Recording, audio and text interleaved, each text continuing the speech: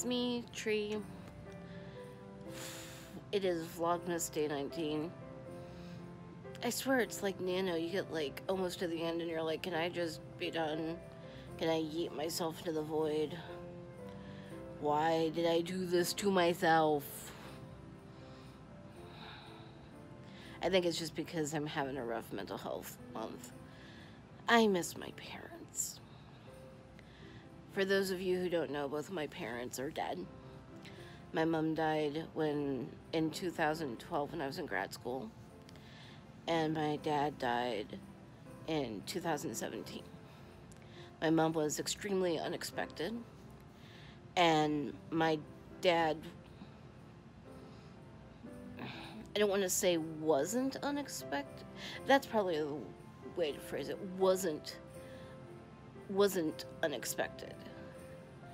He had been sick. He'd been in the hospital, but he was getting better. We were all in crash crash positions because he'd been in the hospital, but he'd been getting better.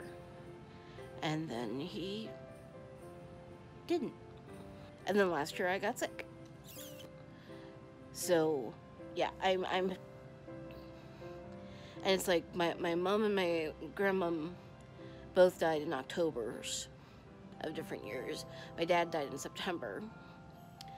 And I got sick in end of November, beginning of December. So the autumn and early winter are really bad on my mental health and have been for a really long time.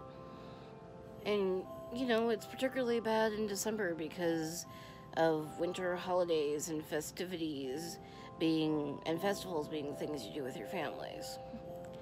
And it's like growing up, my dad was always the one who, well, okay, growing up when we could afford it, which after I was about five was basically never. But I have very, very strong memories of my dad taking me to see the Nutcracker and my mom taking me to see a Christmas Carol on stage, which I always think that's kind of sweet that my dad is the one who took me to ballet and my mom is the one who took me to horror movies. It wasn't a movie, it was a stage production, but you get the point. But yeah, that was very much how my parents were. It's like my dad liked opera, my mom liked musicals. I benefited from both. It's like my dad liked James Bond, and I don't. I, I, I grew up with such a rich breadth and depth of exposures to things that it's been really it's been really important in my life and to have parents who were so exceedingly open-minded and didn't just speak of tolerance they it was acceptance it was celebration literally the the first conversation i had with my mom about anything remotely queer was is it okay for boys to like boys and girls to like girls? And my mom's response was succinctly, why wouldn't it be? And if that isn't the most badass celebratory thing, I don't know what is. And when I introduced my dad to one of my trans friends, my dad just wholeheartedly accepted it. Just went, all right, okay. And did his best. So, yes, I miss my parents, and I miss them a lot right now.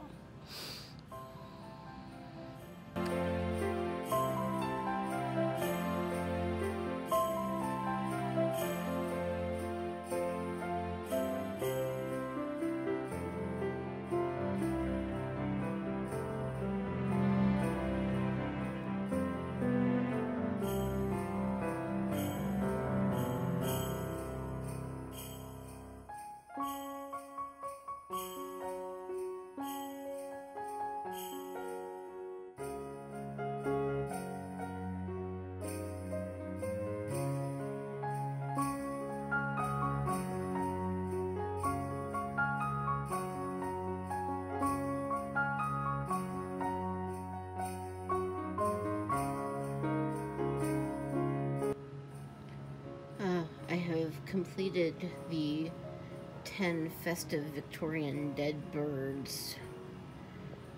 Now I just have to like address them and send them. I need to have a conversation with Past Tree because whatever they were thinking and that this was a good idea, th they need to be kicked. But I think they turned out cute.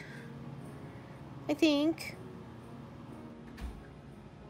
Goodest boy, bestest boy, all snug in a bug. Snug as a bug, because he is a bug. Blech, can't talk. Oh, he emerges. He emerges. Look at how beautiful he is. Are you coming out of your cocoon? Oh, oh, you're so glorious. That doesn't sound like me at all. Is now following. Thank you. All right, I'm gonna put this here so we can see it going up. Yes. Now, to see donation messages, I've been using a combo solution. What I'm gonna try to do is make the goose window smaller so there's more room. That booster says for the record in front of Caitlin, so they're getting me up with it. Nice.